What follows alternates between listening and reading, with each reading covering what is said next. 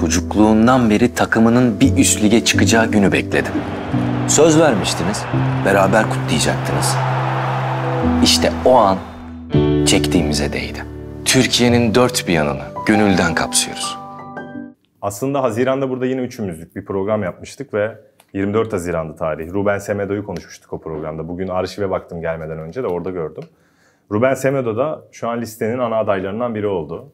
Üç tane istenen işte Nino, Ortiz, Pablo Mari ve Ruben Semedo da dördüncü aday olarak girdi ana stopere. Şimdi Ruben Semedo da zaten e, zannediyorum ki Serkan işin sağ iç sportif tarafında e, konuşursak çok belki de bu listedeki oyuncuların çoğundan iyi üst seviye özellikleri olan iyisi. evet bir isim ama oyuncunun özel hayatında yaşadığı problemler e, Fenerbahçe'yi açıkçası korkutuyor demeyeyim de yani çok böyle e, yani başımıza bela alır mıyız gibi bir düşüncedeler ama Yunanistan'da bir cinsel istismar davası vardı. 17 yaşında bir e, kızı cinsel istismara e, uğrattığı yönünde bir davası vardı. Öyle bir iddia var üzerinde ama sonra serbest bırakıldı diye biliyorum. Evet. Tutuksuz yargılandığı bir süreç oldu. Olympiakos kamp kadrosuna da almadı. Almadı. Almadığı 3-4 oyuncudan biriydi. Çoğunu sattılar galiba. Biri de Onyekuru'ydu. Olympiakoslular saha içi performansını çok iyi anlatıyorlar. Evet. Tabii, tabii. Saha dışı performansını da çok kötü anlatıyorlar. Zaten bu arada Olympiakos'tan önce de var böyle sorunlar. Aslında o daha çok küçükken başlıyor bu işler. Yani sen istiyorsan tamamla ben Yo. sonra gireyim. Yo yo Semedo. devam edelim ya. Ben 5 yaşındayken başlıyor Semedo'nun hayatla mücadelesi. 5 yaşındayken babası hapse giriyor. İşte 15 yaşındayken çıkıyor Semedo. Annesi sabah 4'te 5'te kalkıp evi geçindirmek için işe gidiyor. Semedo bir küçük kardeşi var. Ona sahip çıkmak için e, tabii ki hani Portekiz'de şeyde e, Casal de Minha diye bir göçmen mahallesinde büyüyorlar.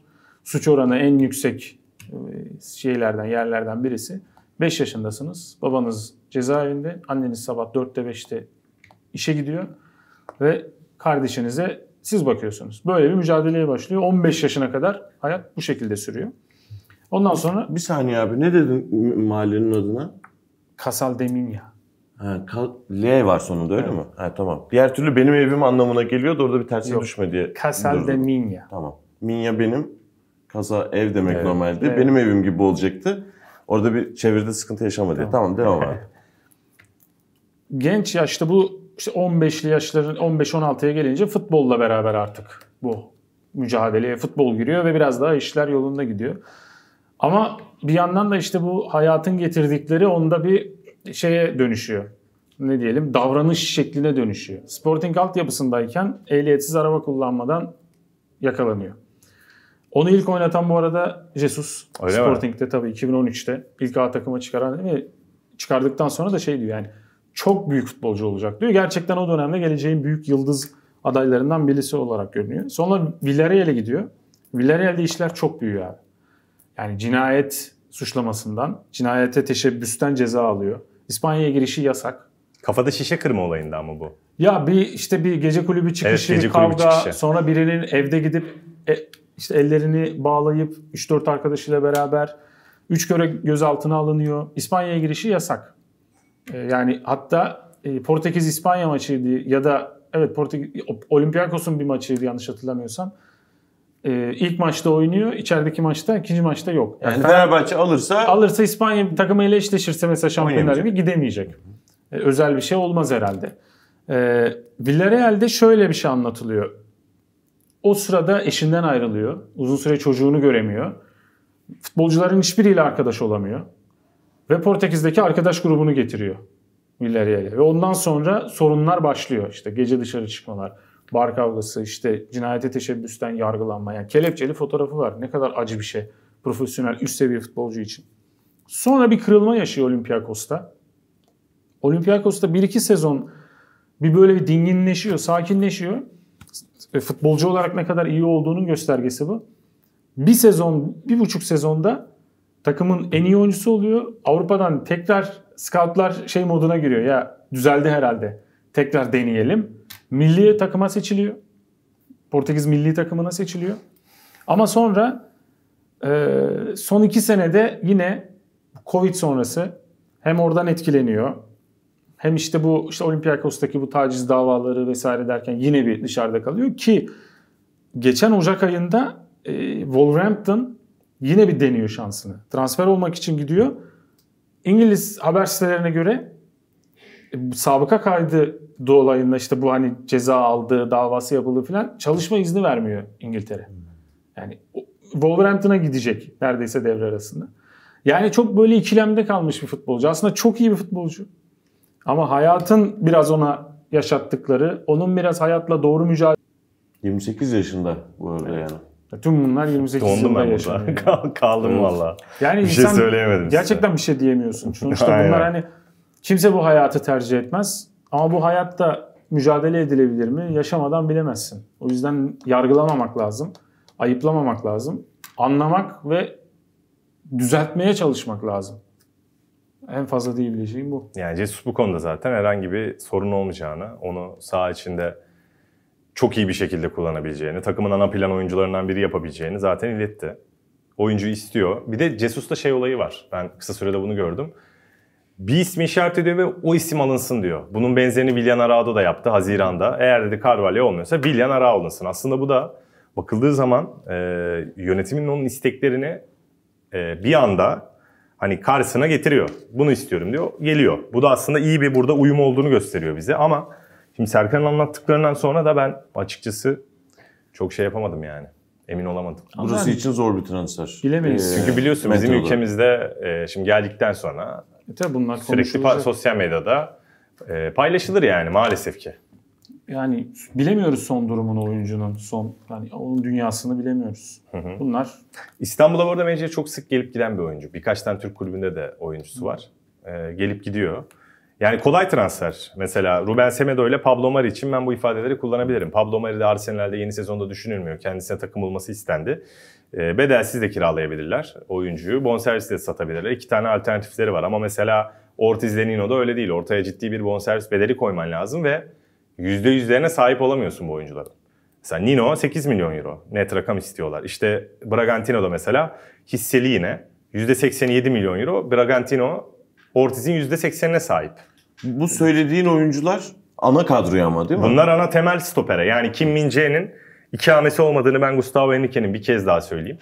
Tisserand da ayrılırsa artı bir stoper daha gelecek. Bir tane de Türk stoper alıp o rotasyonu renklendirebilir Fenerbahçe. Böyle bir plan var ama e şimdi uzun süre Beşiktaş Türk stoperlerle ilgilendi. Bir dakika Finalde- Zalai, Serdar Aziz. Aha. Serdar He- bir ay tedavisi sürecek. Geri dönüşüyle falan bir buçuk ayı bulacak aşağı yukarı. Tamam. Henrique'yi rotasyona koyduk. Evet. Tisserand gidebilir diyorsun. Evet. Üç Ee, stoper oluyor zaten elde. Bir Türk stoper diyorsun. Aha. Beş Bir diyecek tane işte. de evet. Çok mu acaba ya? Sen- Bence çok değil. Çünkü şu an elde bugün itibariyle şimdi çarşamba gün Dinamo Kiev maçı var. Fenerbahçe'nin oynatacak iki tane stoperi var. Kim Min-jae yok artık. Büyük Tisserand ihtimal çarşamba belki de Napoli formasıyla ya da havalimanında fotoğraflarını göreceğiz. Ama diğer türlü bakıyorsun Tisserand var elde.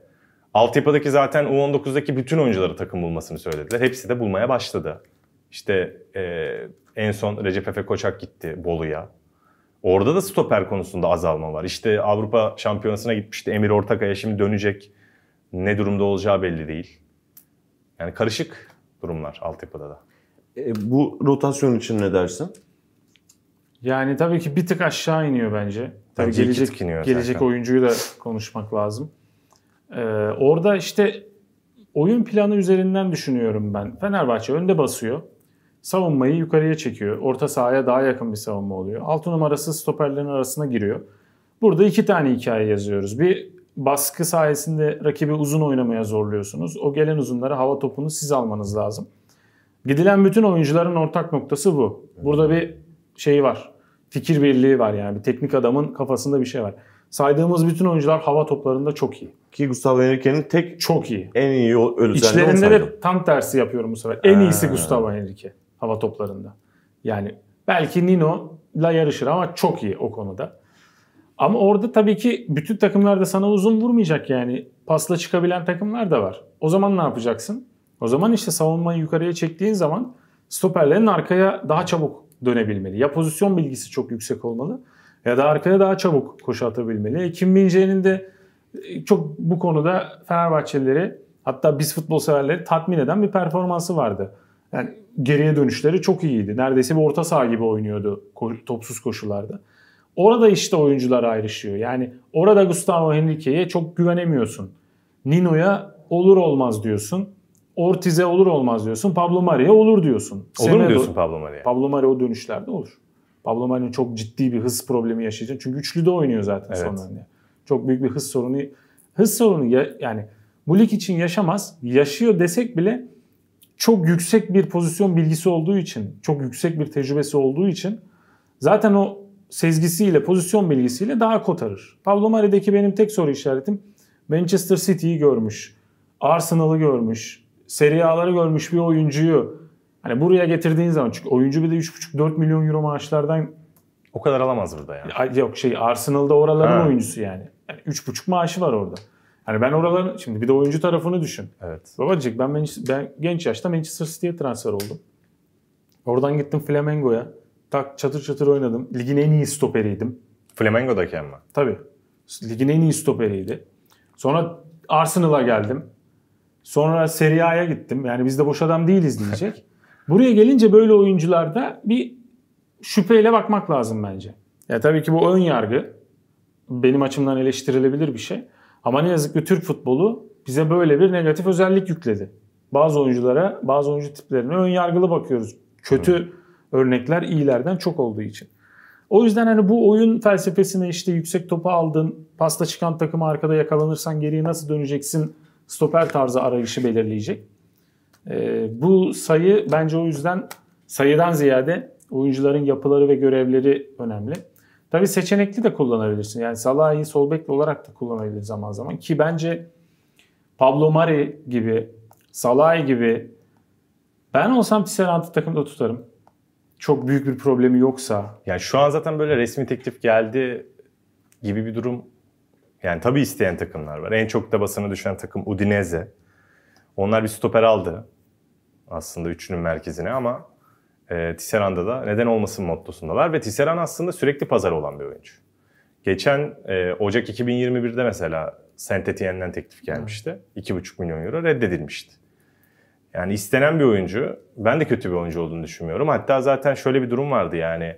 Madem Gustavo Henrique yedek olarak geliyor neden Tisserand kalmıyor? Sen de bu düşüncedesin herhalde. Hani 5 kişilik bir stoper rotasyonu yapıyorsanız eldeki oyuncu da gelen oyunculardan yani gelen oyuncular eldekinden çok çok bariz farklı değilse ya mesela Gustavo Henrique'nin videolarında Santos maçında ön alana gelip sağ ön alandan sol kenara doğru uzun bir pası gösteriliyor.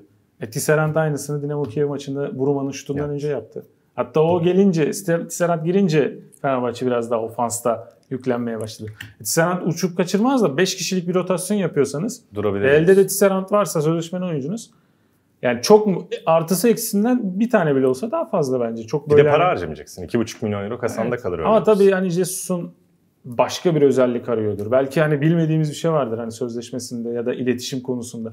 Belki oyuncu diyordur yani ben gitmek istiyorum. Memnun değilim. Ana dilinde iletişimi zaten teknik direktörlük e, noktasında en üst seviyeye koymuş bir isim. Evet. Yani Portekizce konuşup anlaşabildiği veya İspanyolca konuşup anlaşabildiği oyuncuları tercih ediyor. Bu bugün olan bir şey de değil aslında. Mayıs'ta Jesus mu, mü konuşmalar yaparken biz söylediğimiz, konuştuğumuz bir şeydi ki bugün de zaten yansımasını görüyoruz saha içinde. Evet. Yani o yüzden isimlerle ilgili genel fikrim bu. Yani çok kötü isimler değil. Gustavo Henrique'ye de böyle bir yangın yapıldı da sosyal medyada. Şey gelmiyor yani böyle. Brezilya Amatör Ligi'nden topa vurmayı bilmeyen adam gelmiyor. Yani Brezilya milli takımı havuzuna girmiş adam geliyor. Sadece bu isimlere göre kıyaslıyoruz. Ve eldeki isimlere göre kıyaslıyoruz. Beklentiye göre kıyaslıyoruz. O yüzden daha dediğim gibi artıları olan oyuncular e, bulunabilir bence.